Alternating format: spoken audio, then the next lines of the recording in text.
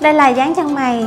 Sau khi Jolie đi hair drop xong thì đây là những cái sợi rất là tự nhiên. Và trên cái sợi này Jolie sẽ nhắn những sợi chính rất là kỹ và đi thêm vào những sợi phụ. Và trong những sợi phụ Jolie sẽ có cách sắp xếp để những cái sợi đan xen và so lên nhau để làm sao thật tự nhiên. Và các bạn à, nhớ nguyên tắc mà chúng ta thêm những cái sợi phụ để làm sao cho thật tự nhiên. Và các bạn chú ý ở phần sợi đầu và sợi đuôi thì chúng ta sẽ đi những cái sợi rất là nhạt nhẹ và tự nhiên Đồng thời những cái sợi trên này các bạn đi cũng nhạt thôi và chúng ta sẽ nhấn kỹ ở phần đường spine cũng như là phần phía dưới này để tạo cái độ đậm và cho chân mày á, có độ chuyển sợi và như sợi lông thật. Phần tiếp theo, Shirley sẽ hướng dẫn cho các bạn cách đi những sợi phụ để làm sao tạo nên dáng chân mày thật tự nhiên trên cái phần mà Shirley đã có hướng dẫn cho các bạn đi sợi chính hôm trước.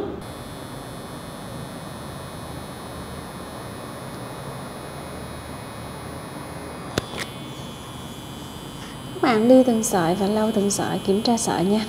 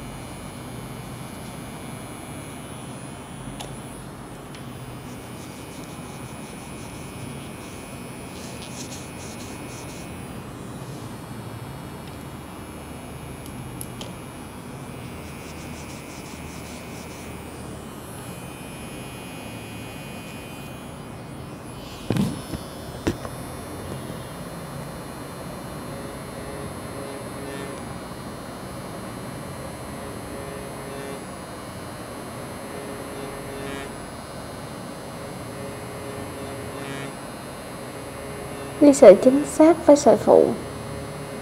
Đi sợi phụ sát với sợi chính nha cho liền nó nhầm.